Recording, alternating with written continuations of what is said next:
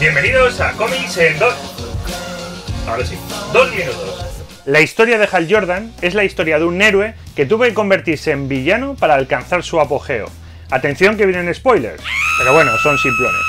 Básicamente en un momento en el que los lectores parece que le estaban dando la espalda al personaje, DC Comics decidió convertirle en el villano Parallax y que se enfrentara a los Green Lantern Corps para poder elevar las ventas. Y aunque lo hizo, el personaje parece que volvió a quedar relegado a un limbo en el que tuvo apenas contadas eh, apariciones. Pero llegó el día en el que se le encomendó al guionista Geoff Jones tomar la batuta de Green Lantern, en este caso de Hal Jordan.